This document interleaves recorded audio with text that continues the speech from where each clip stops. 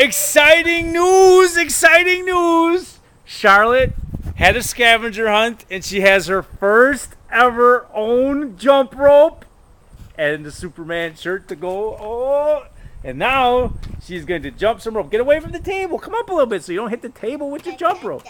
Back up, back up. You want to be right here. Right over here where this piece of caulk is. Blech.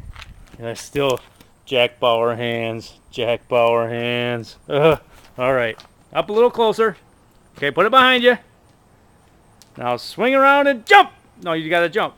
Jump. Okay, put it behind you. Behind you. Now forward and jump. Forward and jump. I can't do it. So hard. I could not jump rope for nothing when I was little either. We used to have jump rope in gym class. We used to climb the rope in gym class. Anything with a rope in gym class was not good. It's not good.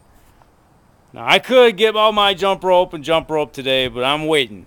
I'm waiting for October.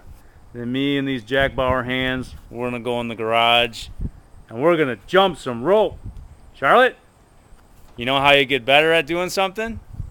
Practicing. Practicing.